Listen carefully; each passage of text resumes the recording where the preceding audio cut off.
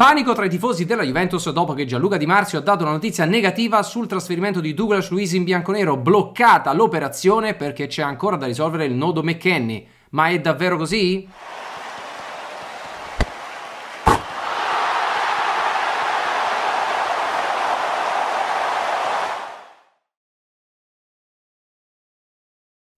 Tardo pomeriggio del 17 giugno 2024, mentre i tifosi della Juventus pregustano l'approdo in bianconero di Douglas Luiz e anche della fidanzata Alicia Lehmann alla Juventus Women e arriva questa bordata di Di Marzio bloccato al momento lo scambio tra Juventus e Aston Villa che porterebbe Douglas Luiz in bianconero. Manca l'intesa definitiva tra McKenny e il club inglese, parti al lavoro per risolvere. E allora qualcuno dei tifosi, anzi molti, dicono ma come non era già fatta Douglas Luiz alla Juventus? Vedi, si è bloccato tutto, potrebbe saltare. Il problema è che si fa ancora fatica a capire che uno, Di Marzio non dice necessariamente tutto giusto e tutto quello che dice è assolutamente vero e 100% credibile, anche lui può sbagliare. E due, Due, nel calciomercato ci sono degli intoppi che ci possono sempre essere, ci sono dei dettagli burocratici da superare, ma questo non significa che l'operazione possa saltare. A volte, quando c'è un intoppo, è semplicemente perché c'è da superare un ostacolo a livello appunto burocratico, a livello legale, a livello di cifre, ma non c'è mai in quell'intoppo la possibilità che salti tutto. Oltre al fatto che proprio per questo discorso degli intoppi, dei possibili ostacoli, c'è anche la tendenza da parte di giornali e giornalisti di eh, raccontare un po', eh, di enfatizzare anche un po' questi intoppi e queste problematiche in determinate trattative anche per provare a sbloccarle. Quindi la domanda piuttosto è nell'interesse di chi va questa notizia Diciamo che Di Marzio ha detto tutto giusto e tutto vero, ma nell'interesse di chi va la notizia che il trasferimento si è bloccato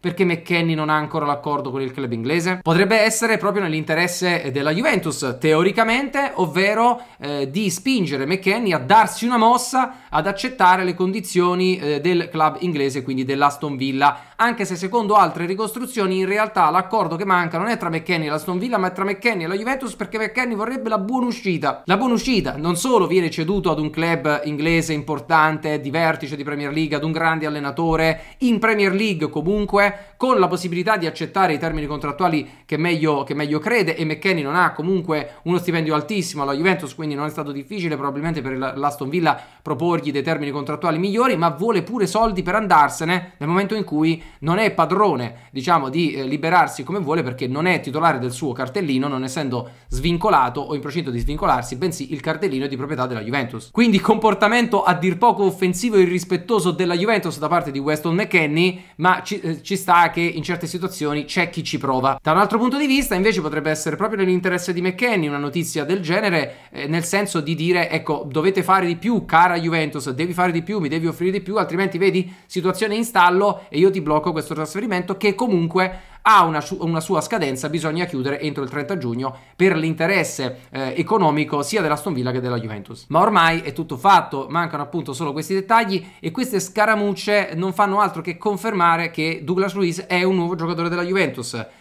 con lo scambio con McKenny e Ealing Jr. più circa 20 milioni di conguaglio. Da capire poi se saranno 20 milioni e basta o 20 milioni inclusi i bonus e eh, con quali termini di pagamento, premesso che sicuramente si tratta di una cessione immediatamente a titolo definitivo e non di uno scambio di prestiti. Quindi i tifosi della Juventus che vogliono agitarsi e preoccuparsi, ma questo vale per i tifosi di qualunque squadra, perché è stata messa in giro questa o quell'altra notizia, possono tranquillamente, sono liberissimi di preoccuparsi ma farebbero bene invece a stare tranquilli e a non credere ogni volta a chiunque parla sul calciomercato, specie ai soliti che vengono ritenuti infallibili che quando parlano hanno ragione ed è tutto vero quello che dicono. Il calciomercato si può vivere anche in maniera diversa, evolutiva, e cioè smettendola di credere sempre e comunque alle stesse persone e di conseguenza aspettandosi solo da loro la verità con tutto quello che ne consegue dal punto di vista emotivo e psicologico.